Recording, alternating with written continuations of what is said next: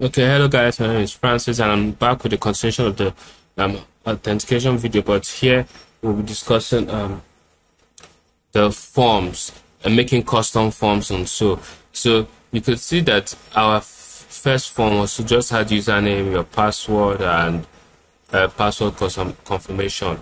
You didn't have something like uh, an email or what they call it on um, maybe something like first name, phone number, or so. So I'm going to be enabling like addition of email and let's just say uh, first name too.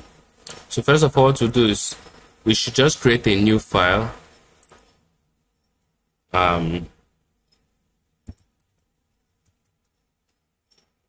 okay, then now our form is going to subclass. Okay, no, it's going to inherit from the base form, the user creation form.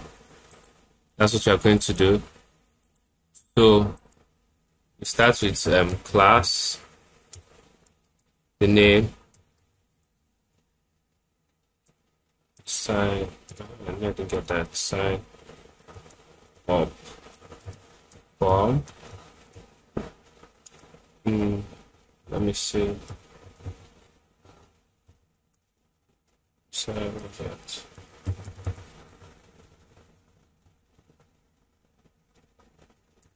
okay. We'll import the user? Like I said we'll inherit from this form remember that's the same thing as here. It mustn't be this form actually. The other forms the other forms can inherit from but this is what we'll be using. You can do this uh, we want to start with an email so it will be equals to forms as you notice, it's underlined because it's not also imported. So we'll import it from, yes, this particular one now. Forms dot uh, email field. Choose the email field, not the um, input, the field. Now, we can specify something like max length. Like as you can see, this unique name says that required is um, 150 characters or fewer. So max you can take is 150 characters. And this later whatever or this stuff now is help text. That's what we call them. So we can specify it. Let's do um okay. Let me do required. Equals to true. Help text should be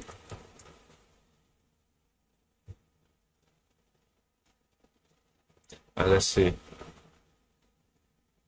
I'll skip that for now. Um, like I said, first name. It's the same forms we are using. Forms that we will not be using email field. So using this car char form like a character form.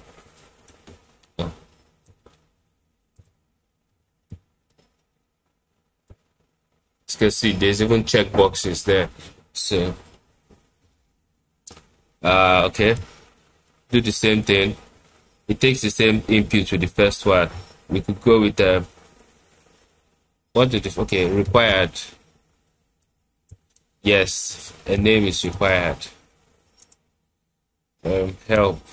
Thanks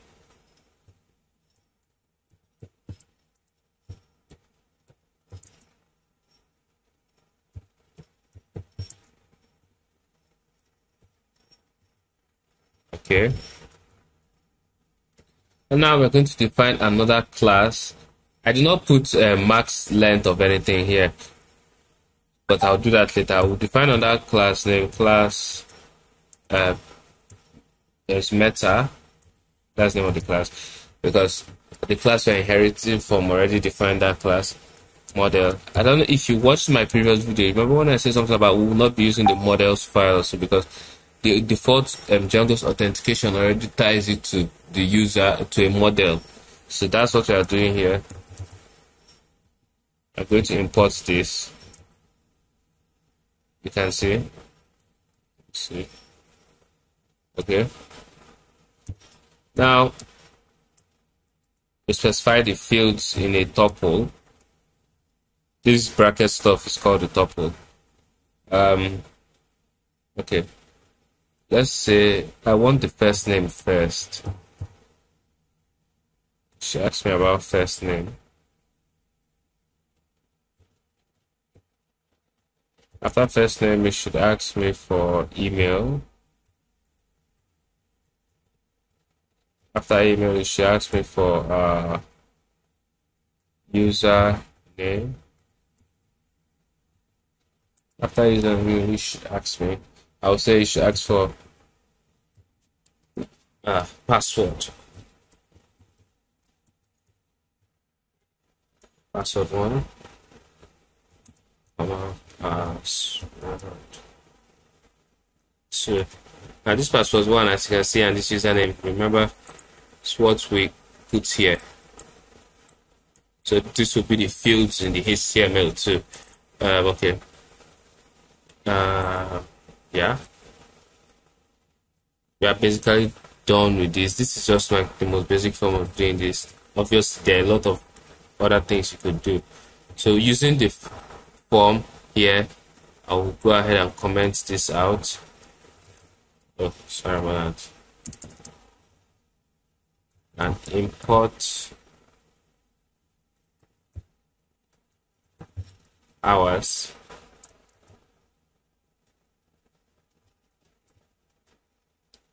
Uh-huh. Import it passing.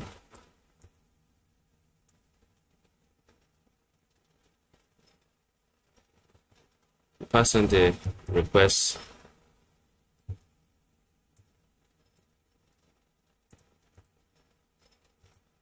Okay. Do the same thing here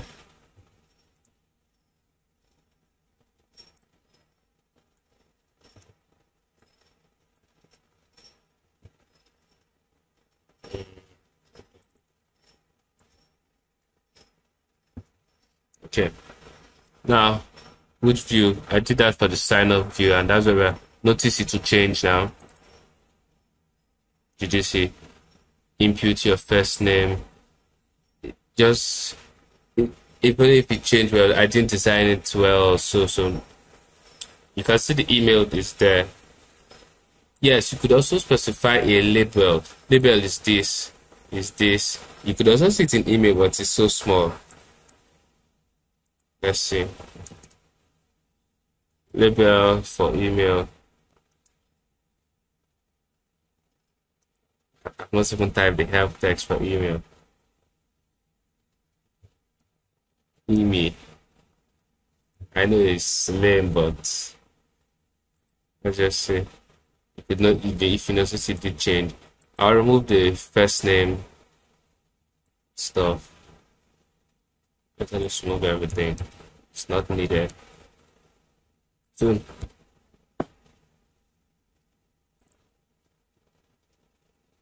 Uh, that's basically it. I'm talking about this. Uh, need to delete my database and see what the migrations again. So, okay. Now, for sign up, I did not touch. I'm still using the default form for sign up, which actually makes sense because for sign up, I don't want to still be asked to put in my first name or my e email. Okay, I can use email or my username or whatsoever. So let's. I don't have any accounts created again, so let's just say first name is Frank. Email is Frank Gmail. Uh, username still password. Mm -hmm. account. Okay, remember once you create your account, it just logs you in. Yeah. Let's see, Steam was my username. Welcome, Frank. I wrote this, so uh, it should be in home. Yes. See where I did that. Username. This B tags is um, bold. Hash password. and you can see this is not the obviously the password we write we wrote was not this but because of um, Django doesn't actually store the password it hashes it like it converts it to something else we can something like shorten this actually.